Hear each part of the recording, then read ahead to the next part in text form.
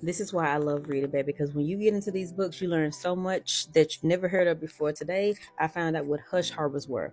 So, Hush harbors were meetings that enslaved, black men and women had where they could basically practice their religion or their spirituality. Uh, what they did was they took aspects of the life changing um, aspects of Christianity and they combined it with their African ancestral religions or spiritualities, beliefs that they brought over, were forced to bring over to this new land and they celebrated and they worshiped together in secrecy. Listen to this.